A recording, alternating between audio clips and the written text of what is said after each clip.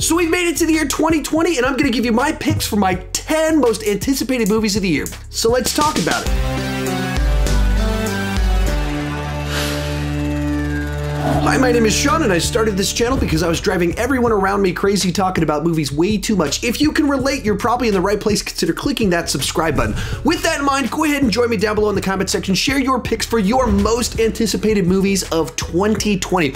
As I go into this, I looked at a list of about 100 movies. I whittled it down to a list of about 30, and then I went even shorter down to my top 10 plus about eight honorable mentions that I'll share with you. So there's a lot of movies I'm excited about. So just because I didn't mention mention something doesn't mean I forgot it or I'm not excited about it.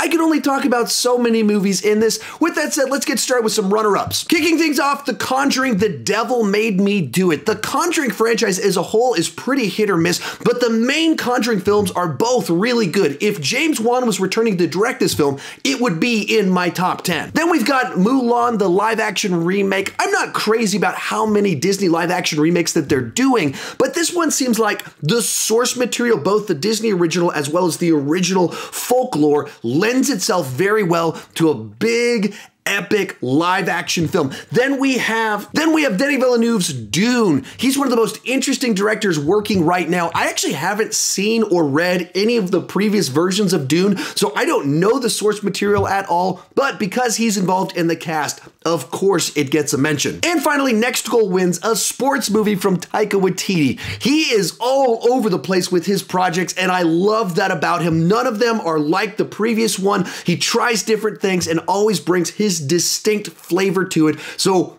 what will he do with the sports movie? I have no idea, but I'm very excited to see. With that said, let's get started. Kicking things off at number 10 is Pixar's Soul. This feels like a return to Pixar doing strange, weird, experimental films where they take complex ideas and they package them in a way that can be insightful for adults, but also be understood by children. The trailer that they put out, while on a plot level being totally different from Inside Out, kind of reminded me of the vibe of that film. I loved how Inside Out managed to take the complexities of our emotions as well as puberty and package them in a way that my kids could love it. That's what this feels like, except with this concept of life, death, afterlife. No idea what they're gonna do with all of this and how music ties into it, but it's Pixar. They've got a great track record, and I love it when they take risks. Next up is A Quiet Place Part 2. As of the time that I'm filming this, I still actually haven't watched the trailer for it, even though it dropped yesterday. In fact, I'm hoping to not actually watch it until tonight. I'm hoping it plays in front of The Grudge. I prefer to watch trailers on the big screen. So as I go into this, I'm really evaluating purely by how much I loved the first film and the ability of John Krasinski to tell a compelling family drama that kept you on the edge of your seat and had a clever horror thriller gimmick inside of it. The idea that we're getting more of that in this world, very excited about all of that. Once again, I haven't watched the trailer, so I don't, maybe I'll watch the trailer and be like, oh, this looks awful. Or maybe I'll be like, this should have been number two on my list. I don't know. Hopefully tonight I will find out. Coming in at number eight is The Eternals.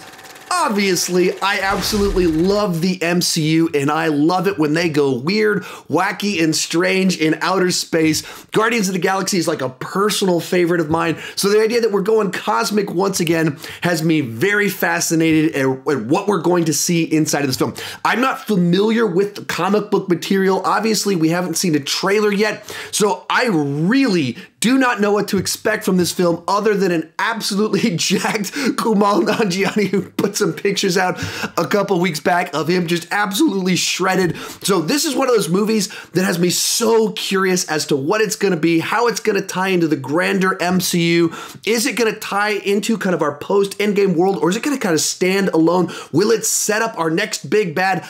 I have absolutely no idea, but this is a movie I can't wait to see. Number seven, The Way Back, a sports drama from Gavin O'Connor. If you don't know, one of my absolute favorite films from the last decade was Warrior, and it was directed by Gavin O'Connor, and it's a sports drama. In the lead on this one is Ben Affleck, so naturally that has me kind of curious, and the themes inside of it seems like ones that would resonate with me. So as soon as I saw that one of my favorite directors who does sports dramas is returning to that genre with Ben Affleck in the lead, themes that typically kind of pull at my heartstrings really nicely, immediately this was a movie that made its way into my top 10. Then we have Black Widow. Once again, I love the MCU, and Black Widow is finally getting her time in the lead. I'm a little bit interested in this one as to exactly what it's going to be as Spoiler alert, she died in Endgame, so we're doing a prequel. It's set between Civil War and Infinity War, and we're going to see what she was up to in that window of time and kind of dive into really her as a standalone character, not as her a member of the Avengers. All of that has me fascinated. The trailer dropped about a month ago and it hit all the right notes for me. Seemed to set the tone, the vibe, kind of had this Jason Bourne inside of the MCU vibe. One of the things the MCU does really nicely is all of them feel like MCU films while also tying to other genres. This is our spy movie, our non, I guess we kind of had one with Winter Soldier, but that was like a political thriller. This seems like a Jason Bourne spy movie. All that sounds great to me. I would love the idea of it. The little moments we got with David Harbour seemed like a really nice touch. So, of course, naturally, can't wait to see this one. Real quick before I give you my top five, here's four more honorable mentions. First up is Venom 2. Now, I wasn't crazy about the first Venom. I kind of thought it was a mess, but it was actually a very entertaining mess that had a great relationship between Eddie Brock and Venom, and I would love to see more of that bromance in the future. So with a script that's a little bit better formed, you could make a Venom movie that I really enjoyed out of the pieces that they had there. So naturally, Venom 2 is one that I want to check out. Next up, we're gonna have Godzilla vs. King Kong. This one was supposed to come out just a couple months from now, and then it got delayed to the end of the year. Now, I don't think that this MonsterVerse has been awesome, but they have been big fun movies where big monsters destroy cities. So having them actually clash with one another, I'm totally on board. These are films to me that, like, at their worst, they're just fun Taco Bell movies. They're fun, easy to consume, fast food entertainment at the cinema. Then we're gonna have Halloween Kills. I 80% really enjoyed the Halloween movie from a year ago and what they did with it. Just a couple of odd choices that I thought were a little bit off putting. But in general, I dug the tone, the vibe of it, the violence, this version of Laurie Strode. So getting more of it, I am on board. And finally, Last Night in Soho. It's supposed to be a psychological time travel horror film from Edgar Wright Um, I'm sold. Kicking off our top five is Wonder Woman 1984. Like most people, I really dug the first Wonder Woman film. It had things to say, it could be funny, the action was really good, and I just thought Gal Gadot was just so charming in the role. So naturally, I can't wait to see a sequel to it. They dropped the trailer just a few weeks back, and Wow, it's one of the trailers just makes an impact, catches your attention immediately because it has what you liked from the first film, but feels like such a tonal shift and it's so much more vibrant and lively as it's not set during the depressing First World War and instead is set during the 1980s that were known for their extravagance in nature. So naturally, they lend themselves to the flavor that you got in this trailer. The humor seemed to work. I loved a bunch of the action shots inside of it. Though I am very worried about Mr. Pine returning to the film and how they're going to pull that off. Will it work? I mean, I dug their relationship. I love that we're seeing more of them, but for me to buy into the movie, I got to buy into the reason that he came back and how they brought him back. Hopefully that works because I had a lot of fun with this trailer. Number four, No Time to Die, our final Bond film from Daniel Craig. I have really enjoyed him as James Bond in these films. His movies, however, have been pretty hit or miss for me. They're a lot like the 1980s Star Trek movies where the odd films were really bad and the even films were really good, except the reverse of that. The odd Daniel Craig Bond films are really good. And this being the fifth one, According to the formula, this should be another fantastic James Bond film with Daniel Craig in the lead. I dug what they were going for in the trailer and that they have very much this kind of art flowing throughout the entire films. The theme seemed to work. There's, I mean, it just looks gorgeous and it seemed like there's some very cool action sequences. So I'm feeling like we're gonna end his reign as James Bond on a high note. Real quick before I give you my top three, remember to share your picks down below in the comment section. Remember, my list isn't the right list. These are just the ones I'm most interested in, and I would love to see which ones you're most interested in.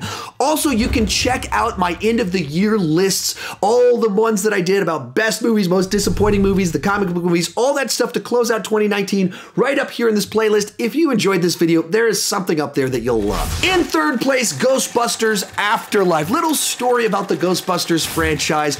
Back in the summer of 2016, I didn't have a job, went on a date night to go see the reboot of Ghostbusters with my wife. Saw it, I was actually kind of middle of the road on it. I didn't think it was the worst thing ever. Certainly didn't love it. I went, hey, maybe I should post a review of Ghostbusters and see what happens.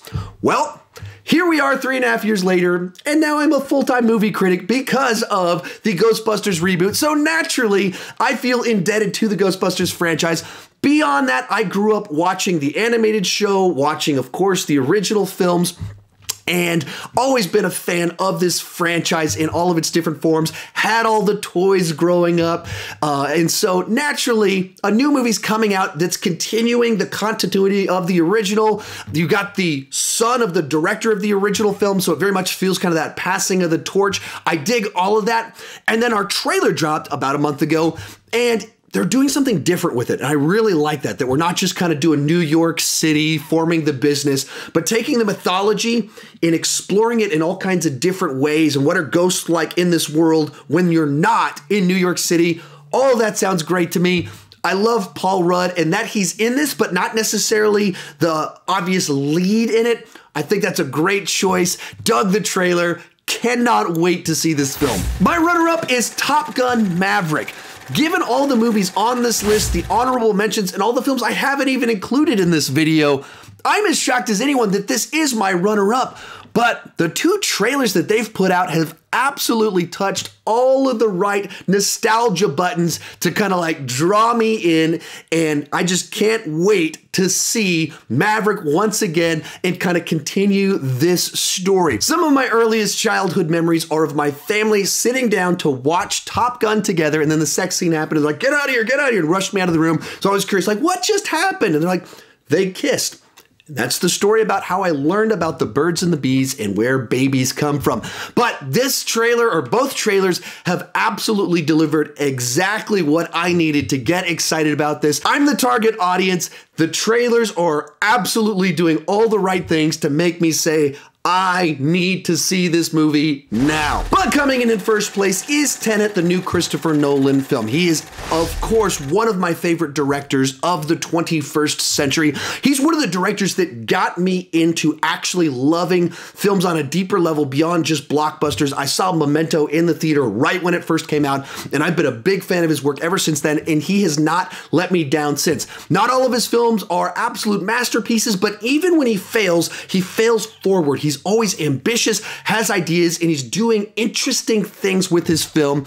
And this film seems to be right in line with everything else of exploring ideas inside of it, um, having great action, of course, with fantastic actors inside of it. Seem kind of in the vibe of Inception, which it's one of my favorite films from him. When it's Nolan, I always am going to be pumped and excited, and everything I've heard and seen about this film makes me think it is not going to let me down. So it comes in at number one. Remember, you can check out my end of the year list from 2019 right over there in that playlist. Thank you so much for watching and keep talking movies too much.